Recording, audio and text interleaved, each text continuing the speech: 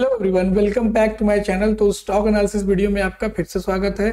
आज की इस एनालिसिस में हम बात करेंगे एल एन की, जो एक फाइनेंशियल होल्डिंग कंपनी है। तो सबसे पहले हम जानेंगे इसके पीई को। पी अगर इसका देखें तो 20 के आसपास ट्रेड कर रहा है। इस स्टॉक का बाउंड वीक हाई 95 है, जो अभी ये स्टॉक चौरानवे के आसपास ट्रेड कर रहा है। तो सबसे पहले चलते हैं हम इसके चार्ट पर।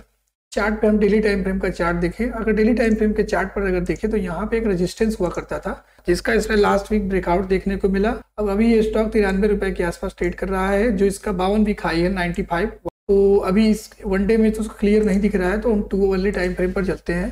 टारगेट्स की बात करते हैं।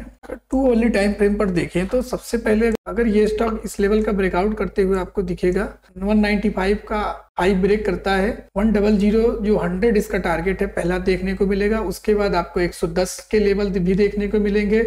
और धीरे धीरे आप इसको ट्रेल करते जाइएगा, आपको बहुत ज़बरदस्त प्रॉफिट देगा। क्योंकि जो फाइनेंस सेक्टर है, अभी बूम करने ही वाला है। तो ऐसे ही स्टॉक एनालिसिस वीडियो देखने के लिए चैनल को सब्सक्राइब कर लें और बेल आइकन को दोबारा ना भूलें। Thank you